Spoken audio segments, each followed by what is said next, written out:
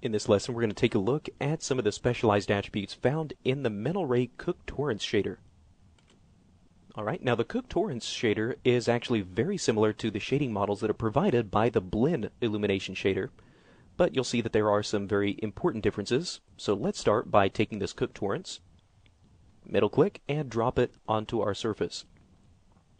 So let's start by taking this ambience and the diffuse color of this shader make them a little bit darker so that way the overall specular effect can start to stand out a little bit more. And you can see now the effect of our shader, we start to get these specular highlights. But you'll notice that the specular highlights are actually colored. They do have a little bit of specialized color to them. So let's start by taking this. I'm going to press 7 on my keyboard and reposition my camera so that way we can start to see these specular highlights a little bit easier. All right, there we go. So the color that we're seeing as a result on the specular highlights are actually coming from this index of refraction. You'll notice, if you've already had a chance to look over the attributes found in the Mental Ray Blinn shader, that a lot of these attributes are identical, with the exception of the index of refraction red, green, and blue. So what this does is gives us the ability to control the index of refraction on all three of these color wavelengths. So we can start to see these effects a little bit easier if we were to increase the specular. Again, this is just a simple color multiplier, which starts to multiply the effect of the specular highlight that we're getting here. So if the index of refraction red, green, and blue are both set to the same values, we'll get a specular color of white. As you can see here.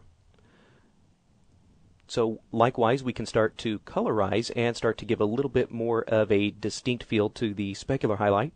If we were to increase the reflection or the index of refraction to a higher number in one of these different channel values or one of these different color values.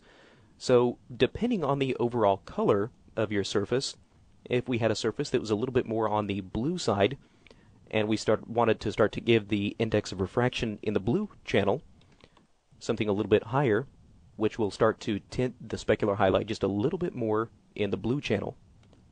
And that now starts to give us just a little bit more of a colorized effect here in the specular highlights. Now again, we can start to mix and match these a little bit better.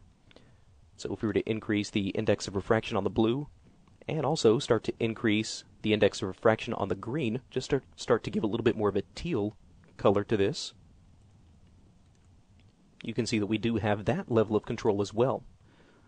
Alright, now one of the things that is actually very nice about this Cook Torrance shader is the fact that we do have the ability to get very, very strong highlights, which is something that we were not able to do with something like the Blinn surface shader.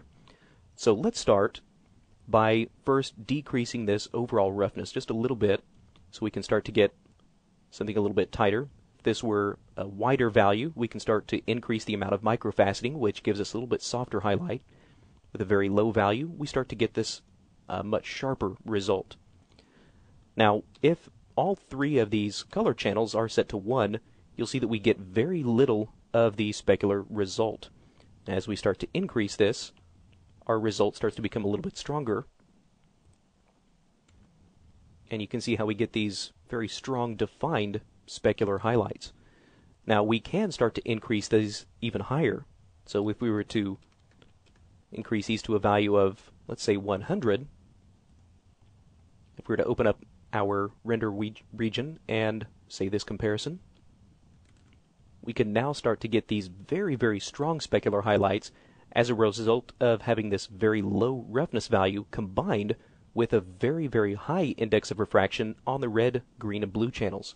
So this Cook Torrance shader is going to be very, very well suited for giving these uh, these very, very strong specular highlights that are very, very tight, very strong, and very sharp. All right, so that's a look at some of these specialized attributes found on the Cook Torrance material.